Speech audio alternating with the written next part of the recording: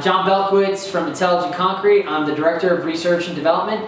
And today we're going to talk to you about how contractors can protect their concrete slabs, whether they're driveways, curb and gutters, uh, any type of exterior pavement from attack from de-icing salts and de-icing brines.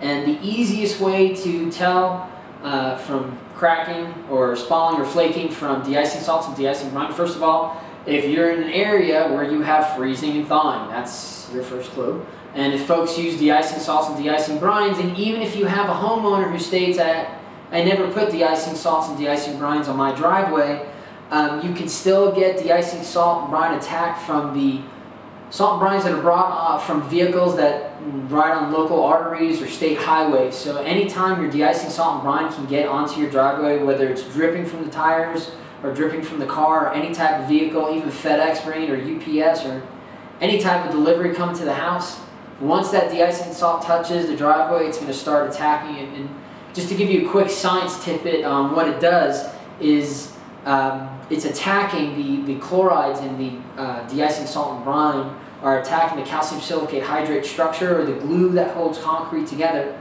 And what it's doing, it's changing that, that hydrated cement matrix or that binding matrix into a weaker version and a more voluminous version of itself. So, you know, if we see our concrete surface and our salts migrate uh, through the surface and start hitting the aggregate, um, they're going to start attacking either that interfacial zone between the aggregate and the cement body, um, or they're going to hit the cement body, start causing, causing that, that weakness or that voluminous growth, and it's basically going to pop the surface off and normally starts in little spalls or little pop outs and then it'll start flaking off the entire surface. And that's the way that we can see it either in these little like pock marks on the surface or these large surfaces where your aggregate is showing.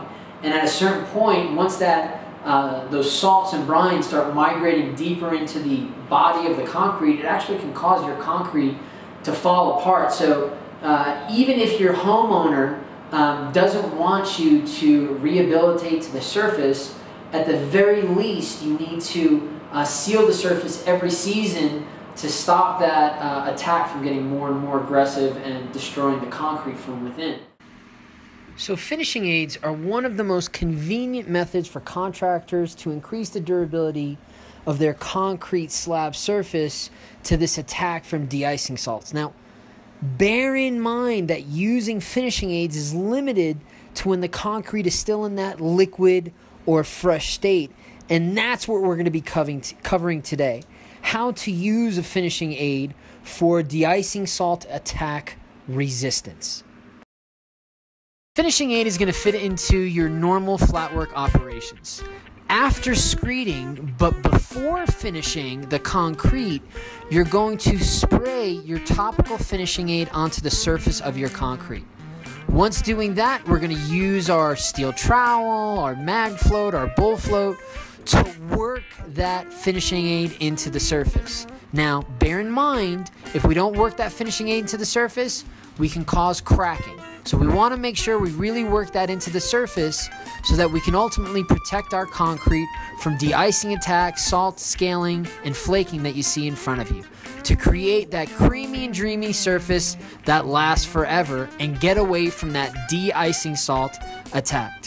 When using finishing aids, we produce a cream at the surface that's going to last and feel different from that with blessing with water. Ultimately, with using a finish aid, you can create the same type of finish, whether it's a broom finish, a Fresno finish, or a steel troweled finish. So now that you've seen those different techniques and you understand the different directions you can go in taking care of that failure at the surface, please recognize that this is a failure at the surface. Spalling and flaking does not mean that your concrete driveway is structurally compromised. It's just really ugly. And if you have a driveway that's stamped or a driveway that's colored, uh, it's going to show even more and your homeowner is going to be even, or the owner is going to be even more upset about it and want it repaired or rehabilitated. Um, but that being said, all the technologies and all the concepts that we showed throughout this video are actually uh, in the comments section. So if you want to buy some of the products that are in there, go right ahead. And when it comes down to it, whether you use the products that we have in our comments section or whether you use a, a competitive, these are some of the clients that that we represent, we really don't care. Um, what we care is that you at least use the new and emerging technology. And as it stands, the products that are in there, uh, there are a few companies that make those products. And if you ever have any questions, either about this video, the products that we use, or other products out there that are similar to the products that we talked about, please don't hesitate to throw those questions in our comment section.